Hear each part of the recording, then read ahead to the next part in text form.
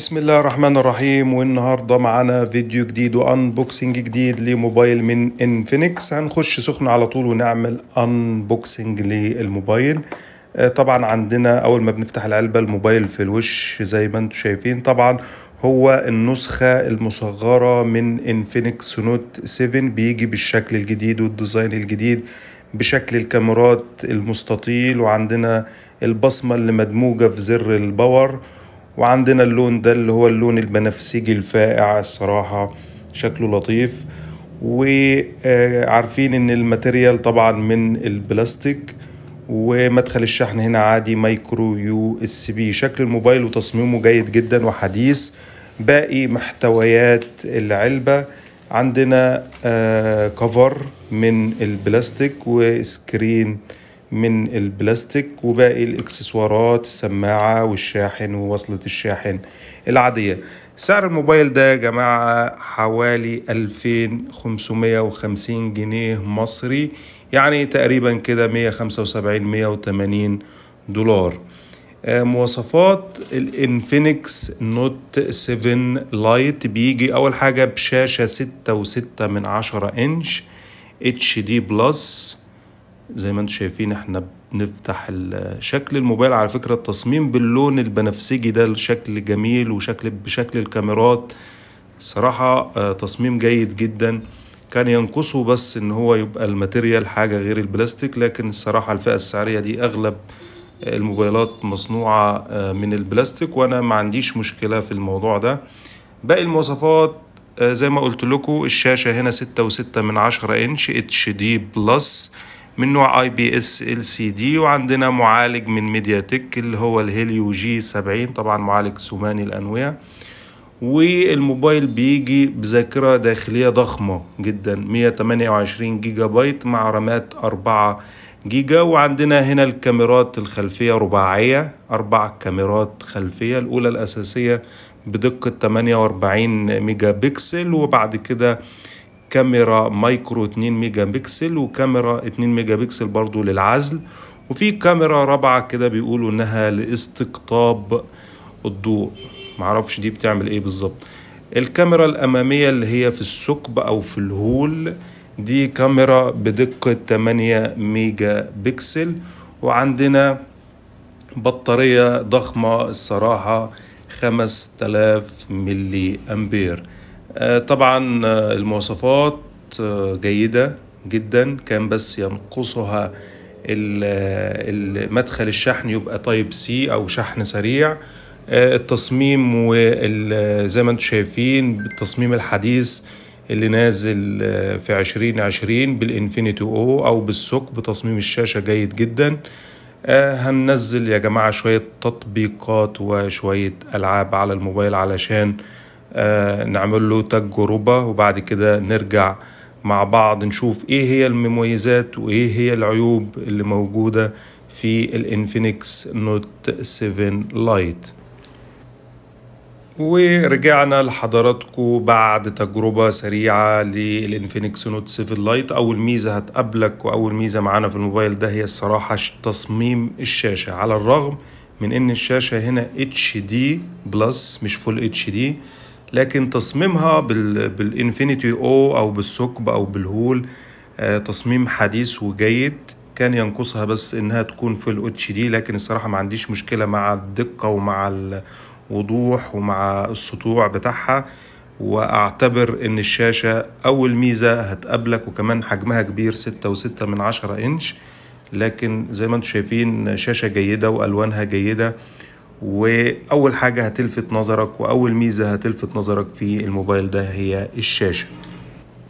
تاني ميزة في الموبايل ده هي الصراحة وعجباني جدا البصمة اللي في الجنب دي. آه، أنا بحب الموبايلات اللي بصمتها بعيد عن ظهر الموبايل سواء كانت في الجنب من فوق من تحت بس بعيد عن ظهر الموبايل. فدي حاجة الصراحة عجباني جدا. تجربة الصوت برضو كانت حاجة كويسة من الحاجات اللي عجبتني ودلوقتي نعمل تيست مع بعض.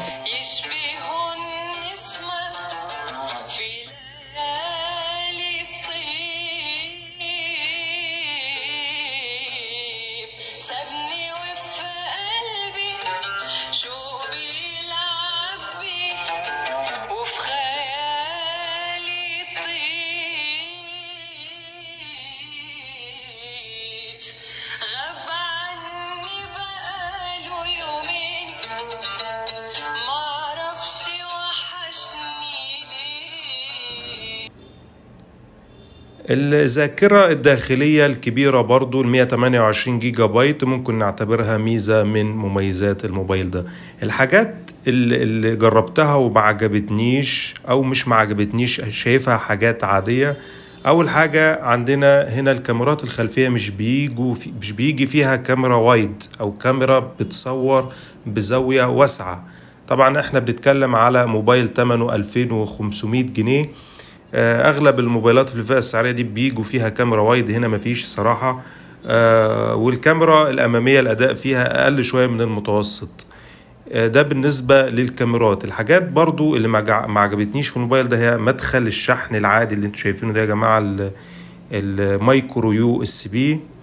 آه، وكمان لا يدعم الشحن السريع على الرغم من إن البطارية هنا كبيرة لكن آه، أغلب موبايلات الفئة السعرية دي بيبقى فيها مدخل شحن Type-C وبيبقى فيها شحن سريع لكن الصراحه Infinix آه، ما ادتناش الميزة دي في ال Note 7 Lite. آه، من برضو بعد كده دخلنا على الأداء. المعالج هنا ال Helio G70 بصراحة في فئة ال 2500 جنيه يعتبر معالج جيد وجيد جدا كمان. عندنا لعبة بوب جي بتشتغل على أقل إعدادات مفيش أي مشكلة. والموبايل مش معمول للناس ال gamer معمول أكتر للناس اللي بتحب التصفح واللي بتحب ال- design بتاع الشاشة ومتابعة الأفلام والحاجات دي كلها.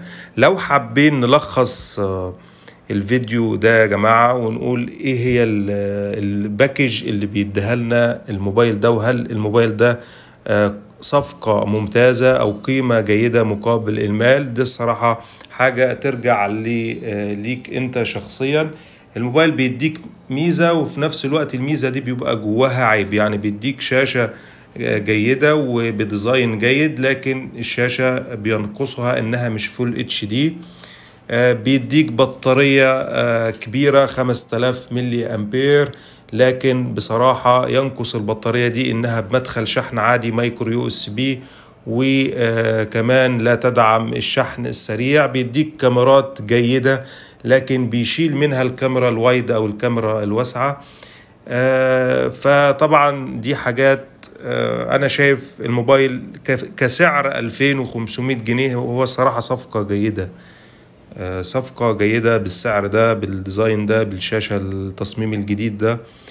ودي كان كانت وجهة نظري يا شباب وتجربة أولية للموبايل الموبايل معايا بالظبط بقاله ثلاث ساعات. أنا بتكلم على ال- التجربة الأولية لل Infinix Note 7 Lite. زي ما أنتم شايفين لعبة ببجي شغالة على إعدادات آه، أقل حاجة وشغالة كويس. مفيش تقطيع ومفيش آه، آه، تسقيط فريمات. ده كان فيديو مختصر لل Infinix Note 7 Lite. حبيت ألم شوية آه، الحاجات اللي جربتها. لو ليكم أي استفسارات أو أي ملاحظات اكتبوا لي وأنا هرد على حضراتكم. الموبايل زي ما قلنا تمنه 2550 جنيه. في الفئة السعرية دي في موبايلات كتيرة جدا بتنافسه. إن شاء الله هنحاول نعمل مقارنة ما بينه وما بين زميله ال S5 برو وما بين السامسونج M11 كل الموبايلات دي في نفس الفئة السعرية برضو وموبايلات جيدة جدا وفي منافسة جيدة جدا. آه شوفوا حضراتكم عايزين تعملوا مقارنة ما بين آه أي أنهي موبايل بالظبط وإن شاء الله نعمل فيديو كمان نقارن الحاجات دي كلها. لو وصلتوا للنقطة دي يا جماعة للمشاهدة بشكركم شكرا. جزيلا أتمنى الفيديو يكون نال أعجابكم وفي النهاية السلام عليكم ورحمة الله وبركاته.